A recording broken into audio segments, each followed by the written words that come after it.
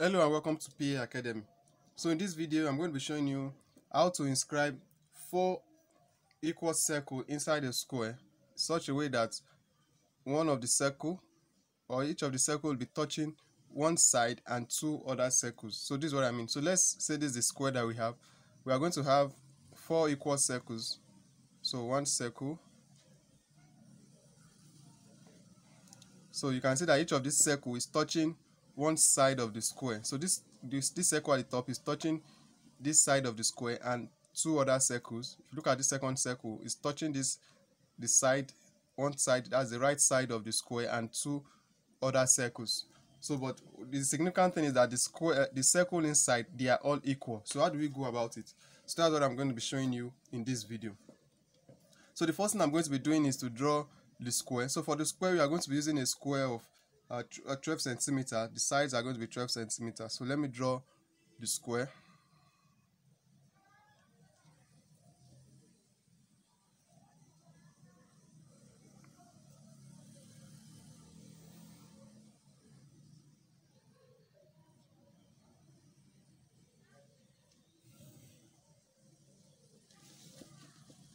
So I'll be using the aid of a uh, protractor this time around to get my square.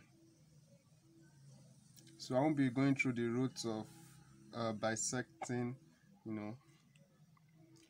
You know, there are different ways of getting a square anyway. So depend on depending on method you are asked to use.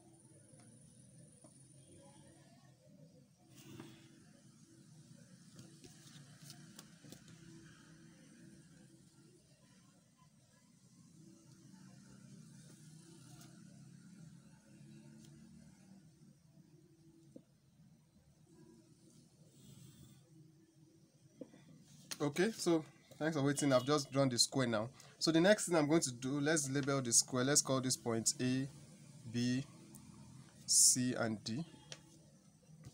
Now having done that the next thing is i'm going to draw a diagonal. So that means i'm going to draw a diagonal from point b to point d.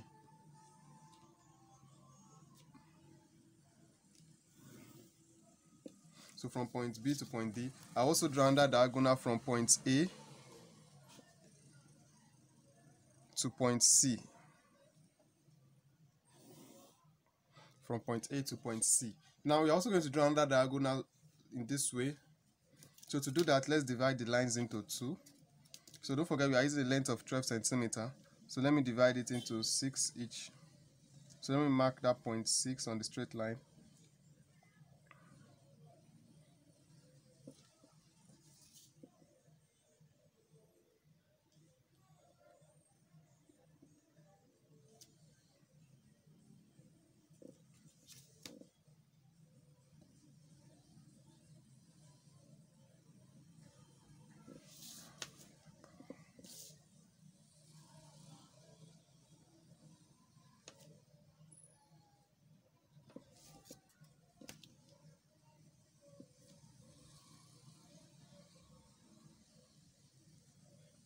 So now let me join these points. So you can see to pass through this center of the square.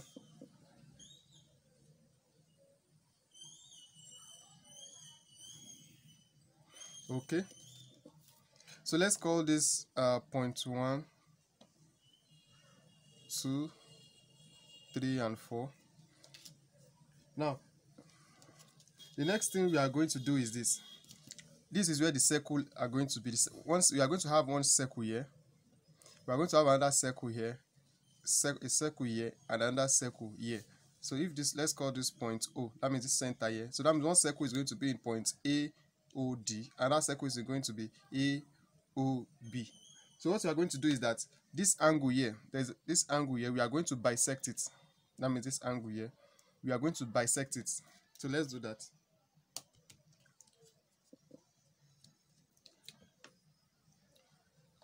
So just pick your compass at any convenient uh, length of the compass. So let's just pick point, point B.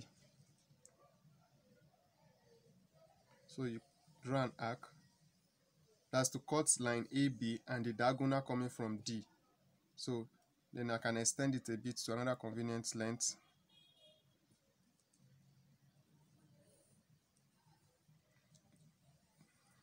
So you can see that it was from this point.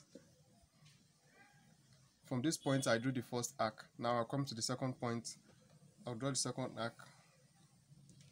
So where the both meet, I'll draw a straight line to point B.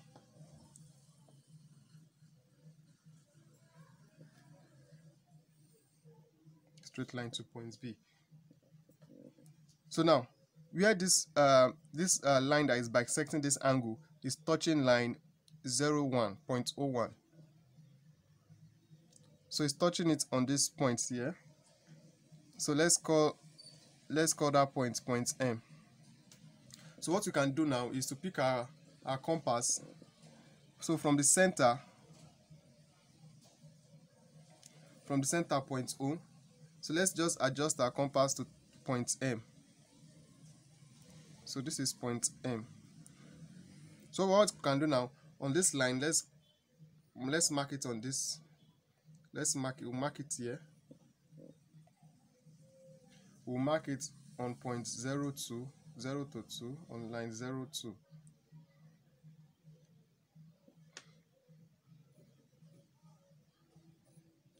so what those points that we've just marked these points here these points this point, this point, and this point. Those points represent the center of the circle that we are going to be drawing. So that point represents the center of the circle that we are going to be drawing. So the next thing for us to do is, let me just make that point so that to be easy for me to. So the next thing we are going to do is now, so from point M to point 1, let's just use our compass to measure it.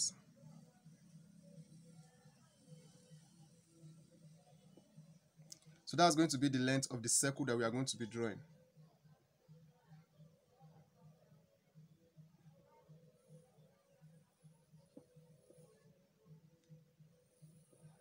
So this is the first circle. So from this point also, let's draw the second circle with the same length.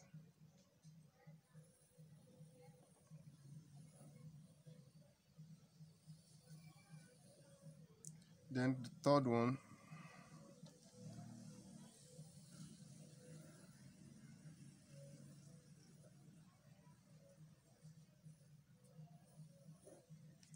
And then the fourth one